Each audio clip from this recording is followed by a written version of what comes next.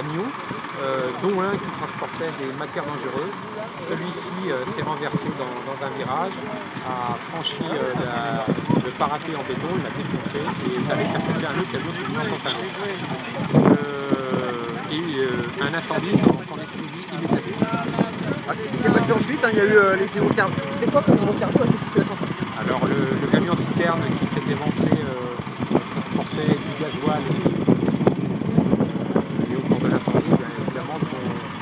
chargement éventré euh, s'est écoulé sur la chaussée. Lorsque nous sommes au début du pont, il s'est écoulé en partie basse sur les quais bas, euh, où étaient stationnées de nombreuses caravanes euh, des forains de la Force euh, combien de véhicules, comment, qu'est-ce que vous avez fait, comment ça s'est passé Parce que c'est toujours, des, feux particuliers, vous êtes entraîné, mais voilà.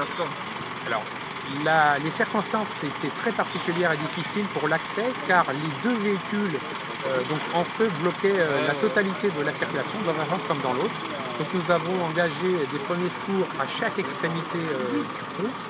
Euh, et puis euh, au regard de, la violence de l'incendie, à, un moment, et les services de l'État craignant peut-être sur la structure du pont, nous avons fait reculer tous les secours qui venaient de la partie rive droite et nous avons attaqué définitivement l'incendie avec de la mousse à partir de la rive gauche, l'extrémité rive gauche. Est-ce qu'il y a des victimes?